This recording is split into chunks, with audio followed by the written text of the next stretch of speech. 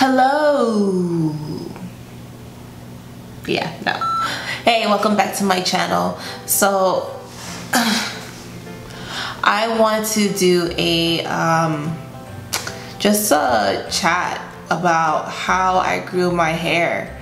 Um, so the picture, so the picture that's on my thumbnail right now um, was a picture that I took two, a little bit over two years ago before I deployed. And I'll put a picture up here somewhere um, just so you can see it.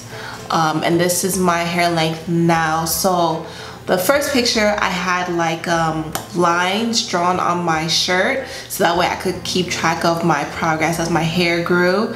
Um, so like I said, I took that picture right before I deployed to Afghanistan. So I'll tell you the journey from two years ago in Afghanistan to how my hair grew to past bra strap length. Um, before it was like way above um, bra strap length and now my hair is a little bit below bra strap length. So if you want to see how I grew my hair, just keep watching. so when I, right before, so okay, let me see. So right before I went to Afghanistan, I already had a process of on how to take care of my hair. You know, I was co-washing every every two to three days, washing my hair with shampoo once a week. I didn't deep condition though, but I washed it with a shampoo and conditioner once a week. Did the protein once a month. You know, I already knew all that. I sealed my ends. I did all that. It just took a long time for my hair to grow.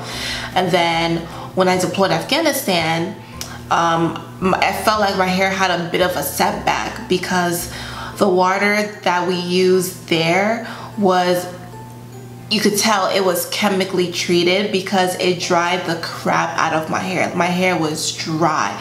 It was so dry to the point where like my edges started balding just a little bit because of the of whatever was in there. And the reason they chemically treated the water was obviously just to make sure that we were using fresh water to shower for everything. So, um, so my hair haircut had a setback. I was balding a little bit. My hair was still growing because I was still relax my hair. Even over there, I was still relax my hair um, every two and a half, every two and a half to three months.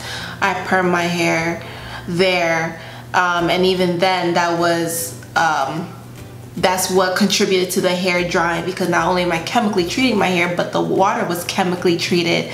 So my hair was drying out.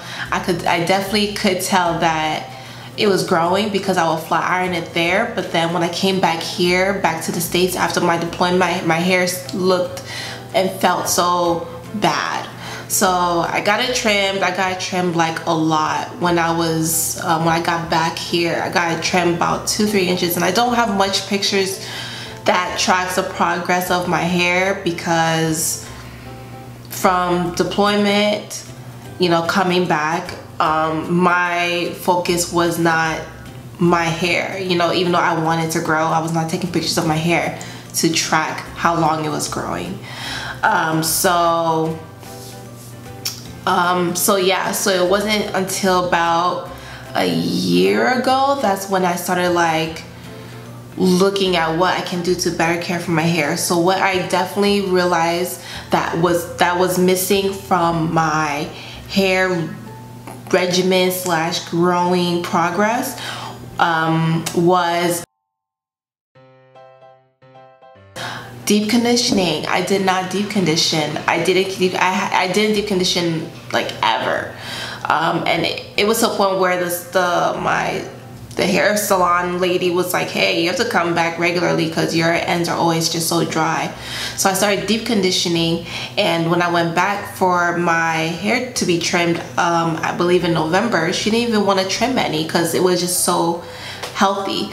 So what honestly contributed to my hair growing from two years ago in which it was like sort of sort of being damaged to now was just deep conditioning. And I do have a video I, I do have a video on deep conditioning and how I deep condition and what I use to deep condition and what my products are to deep condition, how to deep condition on my channel. I will leave a link down below or I'll leave a something up here that you can click so that way you can see how to deep condition because if you don't deep condition your hair will grow but it will not be healthy and you're just going to end up cutting it um, and I also get trims regularly so I trim I go in and get my hair trimmed every time I relax my hair so yeah so that is what I would say the most important thing for all types of hair for relaxed for natural definitely relaxed hair. You need to condition your hair. So there's no secret to it. Just leave your hair alone. Do not i don't yeah and on top of that i don't i don't touch heat like that either. I touch heat when my hair is relaxed and it's straight and best believe i'm flattening it and everything. But when it's not relaxed my hair is in a bun 90 percent of the time or 99 percent of the time my hair is in a bun away from my face away from whatever and um still co-washing, still giving her protein. I work out four or five days a week and I drink a good bit of water. Um, if you don't like water, find a way to like water because water is your best friend. And yeah, so I hope you guys enjoyed this short little, you know, whatever, but there is no secret. Just deep condition your hair, leave your hair alone and put it in a bun.